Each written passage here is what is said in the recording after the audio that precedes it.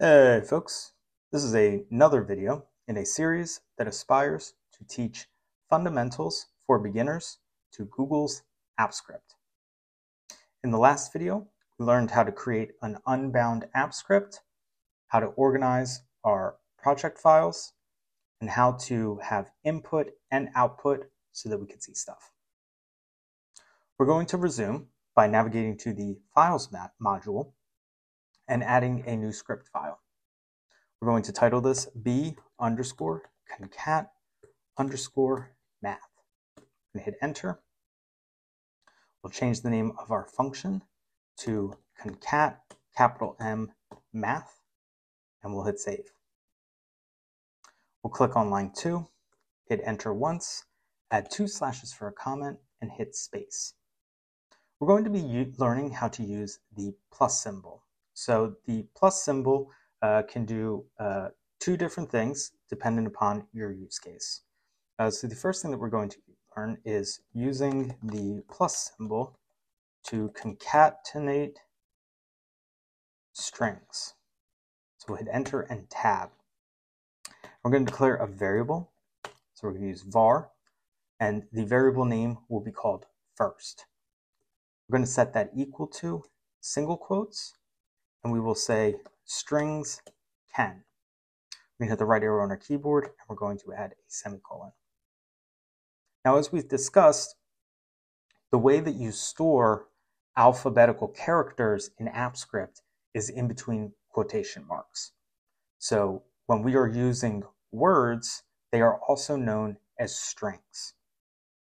So we're going to be creating two variables that contain words which means we are working with two variables with the data type of string. We're going to hit enter and we're going to declare another variable called second. And we're going to set this equal to combined using the plus symbol.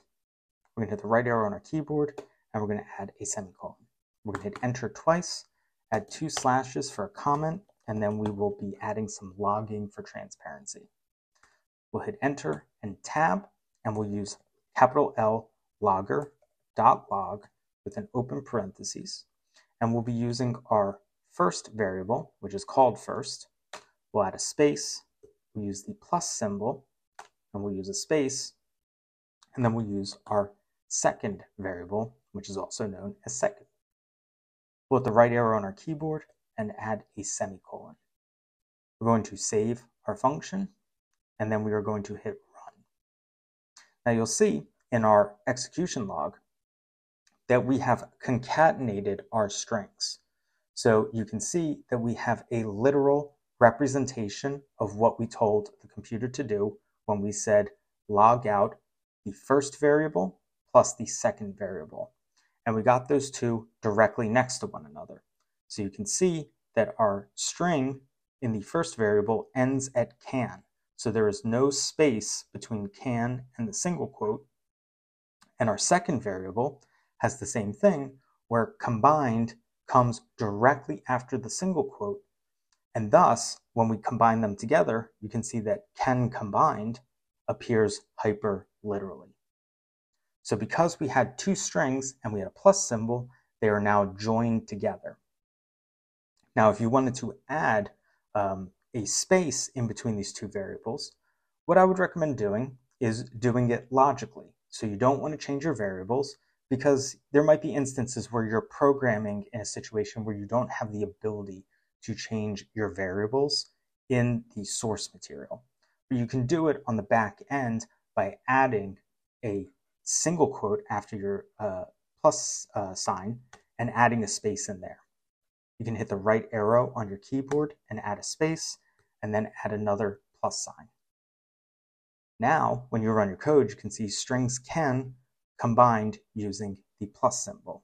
Now, that doesn't read well grammatically, so if you wanted to continue to alter or transform, you could click in between the space, add another space, and then change the words around, right? So we're going to add in the word be, technically a string, outside of our variables. So now when we hit run, you can see we have strings can be combined using the plus symbol. We're going to resume on line 8. We're going to hit enter twice, and we're going to hit the left arrow on our keyboard four times. We're going to add two slashes for a comment, and now we're going to learn how to use the plus symbol to do math. We're going to hit enter and tab. We're going to declare a variable of a, and that will be set to 5. Now you'll notice that 5 does not have single or double quotes around it, and that's because it's a number. When you're entering in a number within AppScript, you do not have uh, quotation marks around it. You just enter in the number as it is. I'm going to add a semicolon after it. I'm going to hit enter, and I'm going to declare a variable of b, which will be set to 10. I'm going to add semicolon after that as well. We're going to hit enter twice. We're going to add two slashes for a comment. And now we'll be doing some logging for transparency. We're going to hit enter and tab. We're going to use logger dot log open parentheses in order to do a space plus space b. I'm going to hit the right arrow on my keyboard. I'm going to add a semicolon. I'm going to hit save and we're going to run it. Now you can see when we uh, run our math, or when we use the plus symbol with numbers, we're getting a math operation where we have combined 5 to 10, which is what we would expect when we're using the plus symbol in other environments like a spreadsheet or a calculator. So the plus symbol has two primary use cases, which is the ability to concatenate strings and the ability to add uh, numbers together. Now, if you have a circumstance where your number is formatted as a string, such as this 5 here, let's say that it had single quotes around it, you'll notice that when we run our function again, we are no longer getting 5 plus 10, we are getting 5 concatenated with 10. So we are now getting the string of 5 plus 10. So anytime that you have a string with numbers, it will then convert the numbers to be formatted as strings. So this number 10 no longer is an integer once we do logger plus, uh, when we use this logger statement here. Now it's not altering variable b, but in the context of a plus b, it is not doing the number 5 plus the number 10, it is doing a string 5 concatenated with 10. And thus, the 10 has now been converted into a string. Now there are going to be some instances where you can, so like in this instance here, I could just delete the single quotes if I wanted to. But there might be some other instances where you're working with a data set that has been polluted because there are numbers entered in there. So an example that I've come into contact with is if I'm extracting data from a spreadsheet typically I'm working in Python for this. I don't really come across this problem with AppScript uh, because it's pretty good at uh, interpreting the values coming out of Google Sheets. But I might have a situation where people are maintaining a spreadsheet that they want to use in an application and they will have a column with numbers, um, but they might not have numbers. So instead of leaving blanks or adding a zero, they'll enter in NA for not applicable or NA for not available.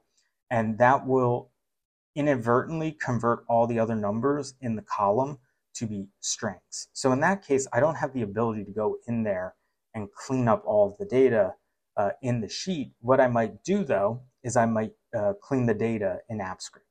So in this case, we have a string of five set to A. So instead of changing variable A, we can modify it in our logger by using capital N number and wrapping A in parentheses. So even though it's uh, formatted as a string in the code, when we log it out wrapped in the number function, it will transform the type from string to number so that then we are able to do uh, a uh, 5 plus 10 as we had originally intended. I hope you found this video helpful. If you'd like to continue following this series, there's a playlist linked in the description.